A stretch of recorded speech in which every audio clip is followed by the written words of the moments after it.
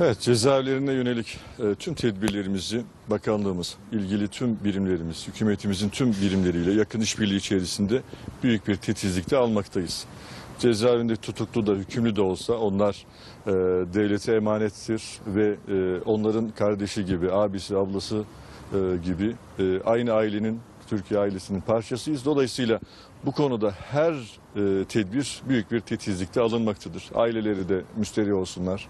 E, bu konuda hem dezenfekte hem e, ihtiyacı olan herkese dezenfekte ürünleri de ücretsiz bir şekilde verilmektedir cezaevi yönetimi tarafından. Bütün tedbirler alınmakta. Bildiğiniz gibi bilim kurulunun tavsiyesi üzerine, Sağlık Bakanı'nın tavsiyesi üzerine açık görüşler de sona erdirildi. Şimdi avukatlar sadece görüşebiliyor. O da kapalı görüş şeklinde yapılıyor. Mümkün olduğunca hem personelimize hem cezaevinde bulunan e, mahkum ve e, tutuklulara hiçbir şekilde dışarıdan bir e, riskin oluşmaması için her türlü tedbir alınıyor. Bu konuda yine e, maskedir, diğer e, eldivendir, tüm e, tedarikler de yapıldı. E, bu konuda her türlü tedbir bilim kurulunun önerisiyle yapılıyor. Onun ötesindeki dezenformasyonlar belli e, operasyon hesaplarının yapmış olduğu bir takım hezeyanlar, yalan, provokasyonlardır. Bunların hangi mahfillerden olduğu da belli. Ama e, tüm e, mahkum ve tutuklulara yönelik her türlü tedbiri insani yaklaşarak onlar devlete emanettir ve e, bu anlamda onların sağlığı için her türlü titizlik yapılmaktadır. E, Bu konuda telefon haklarına ilave haklar verildi ve ileride de yine atılacak her türlü adımda e, oradaki vatandaşlarımızın da personelimizin de bu riskten hiç mümkün olduğunca e, bu riske bulaşmaması için her türlü tedbirimizi almış durumdayız.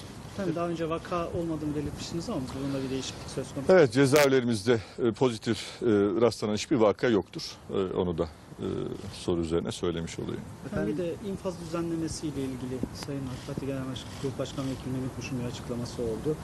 Ee, bu konuda son durum nedir? Son aşamaya gelindi diyebilir miyiz? Bir de bu koronavirüs bu infazın düzenlemenin meclise gelmesinin öne çekilmesini sağladı diyebilir miyiz? Şimdi bu konuda biliyorsunuz Sayın Cumhurbaşkanımızın daha önce de e, birkaç kez ifade ettiği gibi önümüzdeki haftalarda e, gündeme alınacağını söylemişti. Dolayısıyla bu konuda da çalışmalara, talimatları doğrultusunda bizler de başlamıştık uzun süreden itibaren.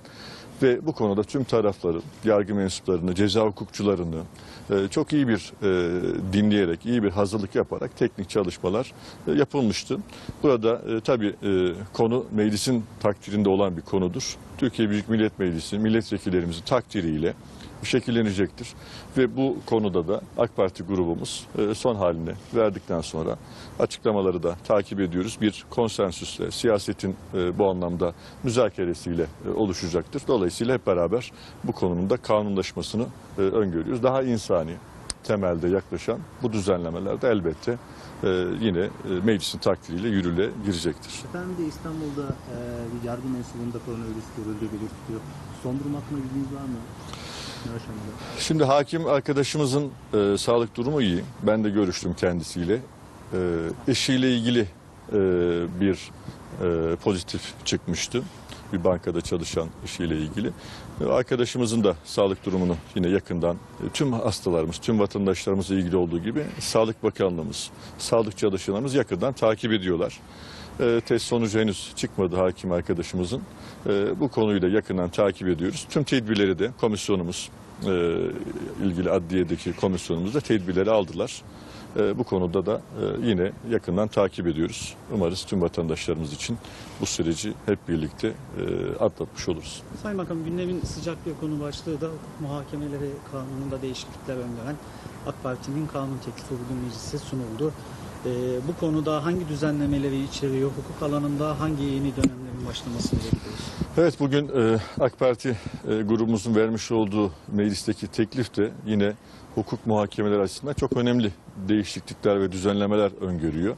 E, bu e, kanunlaşırsa süreç meclisin iradesiyle kanunlaşmış olursa çok önemli değişiklikler gelecek. Öncelikle şunu söylemek lazım. Birinci yargı paketinde ceza usulüne ilişkin düzenlemeler söz konusuydu. Bu düzenlemede hukuk muhakemesiyle ilgili düzenlemeler söz konusu. Yani yaklaşık yılda 4 milyonun üzerinde açılan davaları doğrudan ilgilendiren bir düzenleme söz konusu. Çok önemli değişiklikler, düzenlemeler söz konusu. Yargının daha hızlı bir şekilde, adil bir şekilde karar vermesine imkan tanıyacak düzenlemeleri e, burada görüyoruz. Yine e, ticari davalar gibi, fikri sınai haklara ilişkin davalar gibi il merkezlerinde daha ihtisas mahkemeleriyle bu ihtilafların çözülmesi hem ticari hayata hem hukuka güveni artıracaktır. Bu çerçevede e, yine e, elektronik e, duruşma diyebileceğimiz önemli bir düzenleme de söz konusu. Avukatlar, taraflar e, bürosundan, ofisinden duruşmaya katılabilecek bir düzenleme. Bu da e, üzerinde yine çalışmaya başladığımız konulardan biriydi.